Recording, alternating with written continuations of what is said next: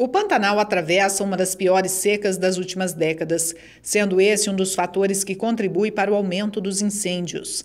Dados do Instituto Nacional de Pesquisas Espaciais apontam que somente no mês de setembro deste ano já foi queimada 14% da área do Pantanal. De janeiro a setembro de 2020, foram detectados mais de 32 mil focos de incêndios na região no mesmo período do ano passado, a quantidade de focos foi de aproximadamente 6 mil.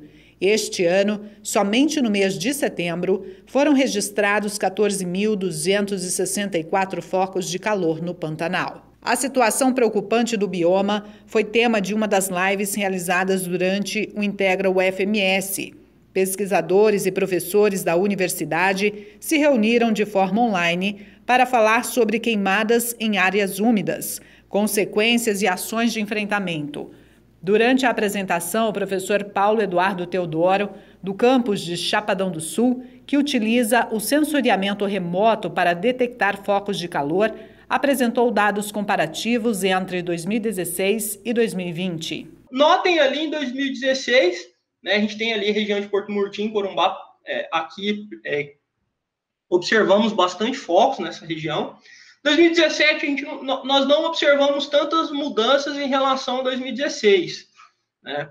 2018 foi um ano mais animador, né? É, nós tivemos uma, uma redução nesse número de focos de calor. Note o quanto aumentou né, esse número de focos de calor em 2020, e é importante que ressaltar para vocês que o ano ainda não acabou.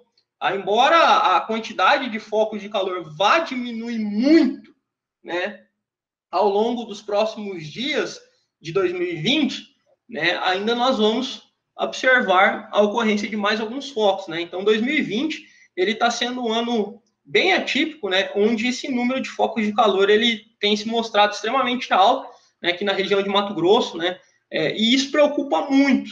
Segundo o professor Geraldo Damasceno Júnior, não se pode afirmar que a situação enfrentada no Pantanal tem a ver com as mudanças climáticas. A gente não pode dizer, olha, é, é por causa do desmatamento. Não, não, podemos dizer, mas a gente também não pode dizer que não é. Que diz, não, não é o desmatamento, porque na década de 60 teve uma seca igual, mas às vezes teve uma, uma, uma causa diferente. Então, é, é, a gente tem que botar as barbas de molho né, e, é, e, e trabalhar para que as possíveis causas para esse sistema parar de funcionar não aconteçam, né? O desmatamento é uma delas. Desmatamento lá na Amazônia, né? O desmatamento do Pantanal, ele não tem ainda uma expressividade que a gente possa dizer não está causando esse fenômeno. O desmatamento que pode causar alguma coisa na, no Pantanal é lá na Amazônia. Durante a live, o professor visitante da UFMS, Arnildo Potti, compartilhou os conhecimentos sobre o bioma e as observações feitas durante os mais de 40 anos de andanças pelo Pantanal. Desde quando o Pantanal queima? Desde que ele existe.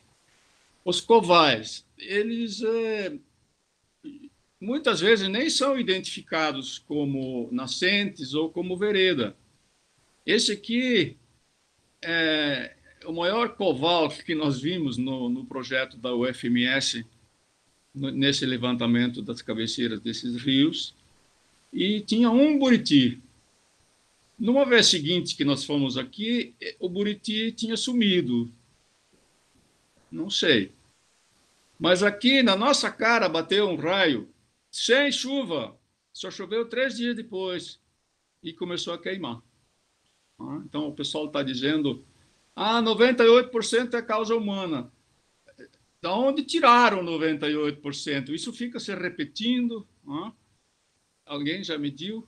Um dos convidados para a live foi o professor Danilo Bandini Ribeiro, coordenador do projeto NOLED, iniciativa que estuda o efeito do fogo na biota do Pantanal Sul-Mato-Grossense e sua interação com os diferentes regimes de inundação. Segundo o pesquisador, é impossível evitar o fogo em um ecossistema como o Pantanal, Porém, algumas medidas de manejo ajudam a reduzir os efeitos das queimadas. Você nunca vai conseguir evitar 100% do fogo no Pantanal.